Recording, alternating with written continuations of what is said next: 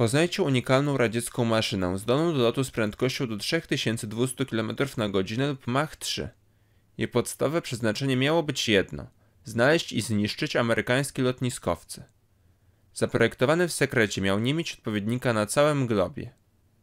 Biuro projektowe Suchoj, dotychczas zajmujące się myśliwcami takimi jak Su-7 i Su-9, podjęło się wyzwania, które miało zmienić oblicze sił powietrznych ZSRR.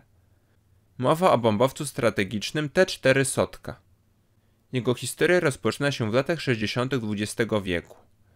Radzieckim szpiegom udało się wtedy pozyskać informacje o planach budowy przez Amerykanów nowego naddźwiękowego bombowca XB-70 Valkyria. Odpowiedzią na to miały być dwa równorzędnie realizowane programy. Pierwszym był myśliwiec przechwytujący zdolny do zniszczenia XB-70 na dużych wysokościach. Obecnie znany jest on jako MiG-25P. Drugim był natomiast bombowiec zbliżony parametrami do XB-70. Do desek kreślarskich ruszyli jednocześnie projektanci Biury Jakowlewa, Tupolewa i Suchoja. Najkorzystniej wypadły prace Suchoja. Wobec tego to jemu powierzono kontynuację działań, których zwieńczeniem miał być ukończony prototyp. Wymagania były trudne do zrealizowania. Najgorsza w tym była docelowa prędkość maksymalna 3200 km na godzinę lub Mach 3. W rozkładzie płatowca miano uwzględnić, aby pod kadłubem zmieściły się dwa duże pociski przeciwokrętowe dalekiego zasięgu. Projekt otrzymał liczbowe oznaczenie 100 i potoczną nazwę Sotka. Początkowo głównym problemem do rozwiązania było nadmierne nagrzewanie się płatowca. Aluminium nie było w stanie wytrzymać działającego na nie ciepła podczas lotu z prędkością Mach 3. Groziło to poważnymi uszkodzeniami, które doprowadziłyby do dezintegracji konstrukcji podczas lotu. Zdecydowano więc o zastosowaniu zamiast niego tytanu. Wykonano przy jego użyciu zdecydowaną większość elementów poszycia samolotu.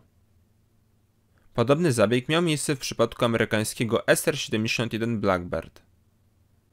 Pracę pilotom ułatwiał komputer pokładowy wspomagający sterowanie maszyną. Była to zupełnie nowa technologia i w tamtym czasie podobny system zaadaptowali tylko Szwedzi w swoim myśliwcu Subvigen.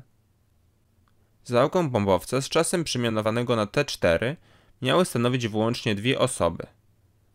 Podobnie było w XB-70, jednak Suchoj zdecydował się w swojej maszynie na ryzykowny układ tandemowy. Pilot siedział z przodu, a za nim operator systemów uzbrojenia. Pilot sterował więc samolotem sam, co znacznie obciążało go pracą. Powodował to rozmiar samej konstrukcji, jak i skomplikowane urządzenia do obsługi. Przedni kokpit przypominał ten z myśliwców. Centralne sterowanie odbywało się za pomocą drążka, a nie wolantu jak jest zazwyczaj. Instrumenty w większości analogowe. W tylnym kokpicie zamontowano urządzenia służące do namierzania przeciwnika i naprowadzenia na niego uzbrojenia. Dziób samolotu regulowany. Podczas startu i lądowania opuszczany 12 stopni w dół. Wszystkie okna pozostają odsłonięte. W fazie lotu z prędkością poddźwiękową zostaje uniesiony nieco do góry, zakrywając część oszklenia kabiny pilota. Lot z prędkością naddźwiękową odbywa się z dziobem całkowicie podniesionym. Tworzy wtedy jedną linię z resztą kadłuba. Okna z przodu zostają całkowicie zasłonięte. Pilot musi polegać wyłącznie na instrumentach pokładowych. Dwa małe okienka u góry zapewniają mu minimum naturalnego światła. Napęd stanowiły cztery silniki turboodrzutowe z dopalaniem, koleso w RD36. Zamontowano je w pojedynczej gondoli pod główną częścią kadłuba. Pierwszy lot T-4 odbył się w sierpniu 1972 roku. Testy kontynuowano. Przewidywany profil misji obejmował atak na amerykańskie lotniskowce z dużej odległości. Szybkie ich unieszkodliwienie było elementem kluczowym dla umożliwienia działań radzieckiej marynarki wojennej i sił sojuszniczych na wodach światowych. Poza tym stanowiłoby niewątpliwy sukces propagandowy. Lotniskowce USA pływały w potężnych grupach bojowych. Ich obrona przeciwlotnicza była na tyle silna, że atak z kilku kilometrów, nie mówiąc już o frontowym, był skazany na porażkę. Odpowiedzią na to był zaprojektowany dla T-4 przeciwokrętowy pocisk hipersoniczny Raduga H-45. Ważył prawie 5 ton i miał osiągać prędkość Mach 5. Dzięki osiąganej prędkości miał być niemożliwe do zestrzelenia. Głowica klasyczna lub termojądrowa. Ta druga oczywiście zniszczyłaby nie tylko sam lotniskowiec, ale i całą grupę bojową. Pocisk H-45 miał działać na zasadzie wystrzel i zapomnij, to znaczy po odpaleniu sam leciał do celu, a jego nosiciel T-4 mógł dowolnie zmienić kurs. Możliwy montaż bomb swobodnie opadających nie jest jasny. Umiejscowienie silników utrudniało przenoszenie najcięższych ładunków FAB 5000 i FAB 9000. Lżejsze natomiast jak FAB 500 najprawdopodobniej wchodziły w grę. T4 nie dysponował uzbrojeniem obronnym.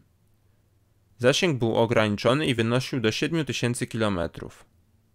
Sotka nie była więc w stanie zaatakować miast i ośrodków przemysłowych na terenie USA i wrócić z powrotem do bazy.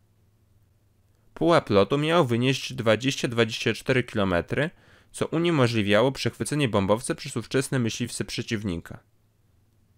Co jednak poszło nie tak, czyli dlaczego T4 nie doczekał się praktycznej realizacji. Główny cios zadał konkurent Suchoja Tupolew.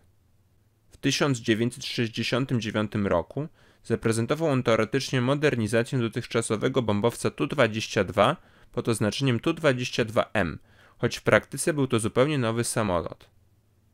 Pomimo tego wciąż stanowił dużo prostszą opcję dla T-4.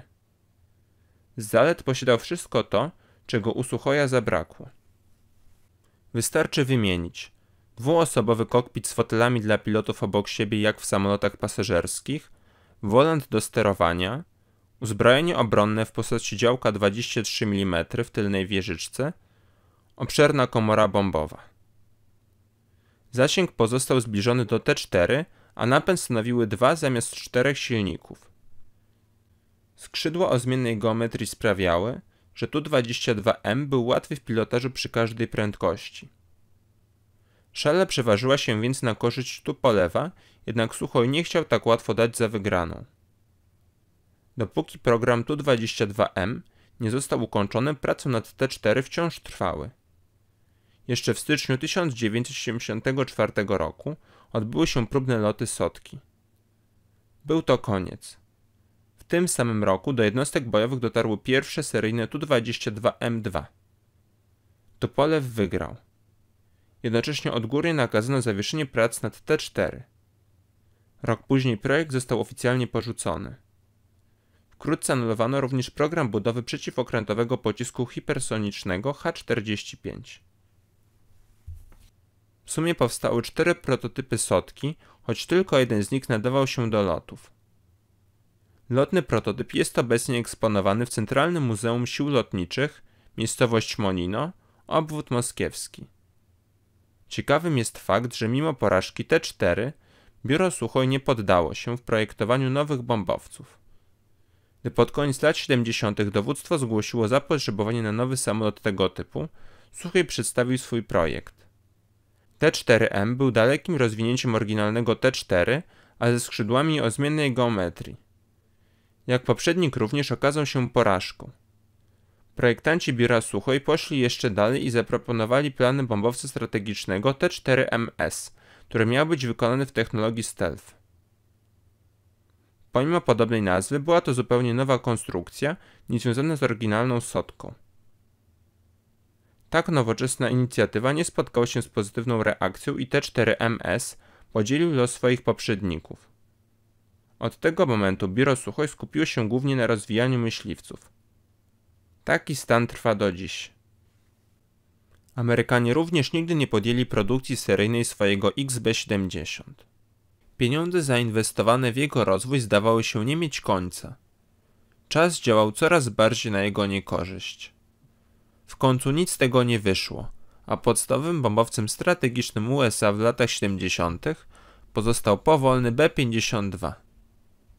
Dziękuję za obejrzenie odcinka o samolocie Suchoj T4 Sotka. Zapraszam do obejrzenia pozostałych materiałów. W szczególności polecam te, poświęcone szwedzkiemu myśliwcowi przechwytującemu J-35 Draken czy ciężkiemu bombowcowi z czasów II wojny światowej Heinkel He-177 Greif. Do usłyszenia ponownie.